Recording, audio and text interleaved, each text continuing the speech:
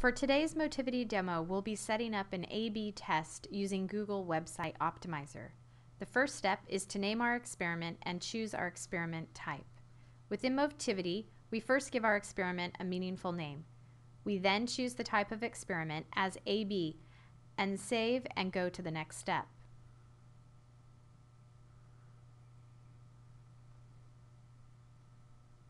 The next step is to set up the experiment in Motivity. This involves selecting the page we want to use as the original first. We do this by clicking on Add Original Page. We want to use a content page in this A-B test, so we select the page we want to use. We then need to choose the page we want to use as the variation page. We do this by clicking Add New Variation Page. We give the variation a name and select the variation page we want to use.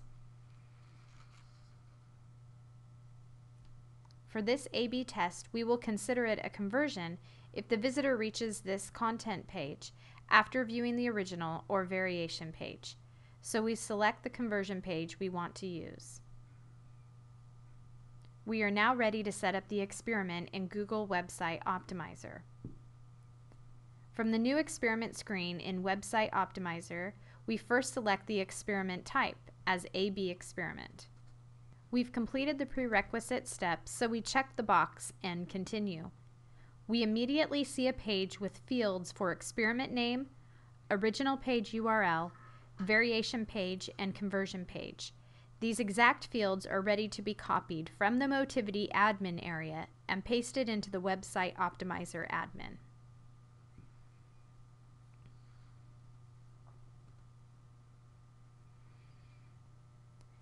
After copying over those fields, we are ready to continue to the next step of installing and validating the JavaScript tags. Within Motivity, we go to the next step and see a field for the JavaScript code URL.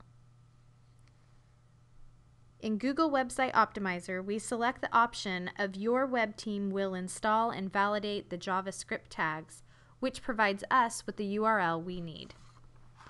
We copy and paste that URL from Google Website Optimizer to Motivity. Then, when we click the Get JavaScript button, the tags from Google are retrieved and placed in the appropriate places on our experiment pages. We click Save and this completes the motivity portion of the A-B test setup.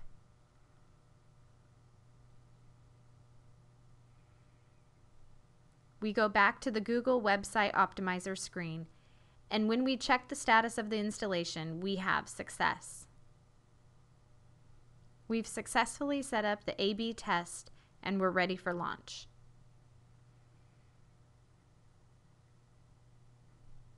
After launching, we'll start getting results within two to three hours.